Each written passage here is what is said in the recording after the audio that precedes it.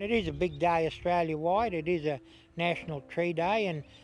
as Toowoomba Regional Council and as councillor and portfolio leader for this department, I encourage everyone in this region to get out, get the family, get to a park and especially down in uh, Thiess Park in Luck Street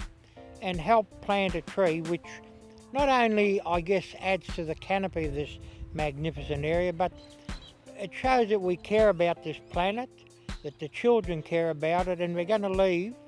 this entire region much better than we found it. This is a great initiative and a great way to replace what we sometimes get rid of and place it in a very well preserved and well maintained environment. On Sunday it'll be a big day, you know. I encourage everyone to come along, bring the children along, have some sunscreen on, have a hat on, have some, I guess, protective footwear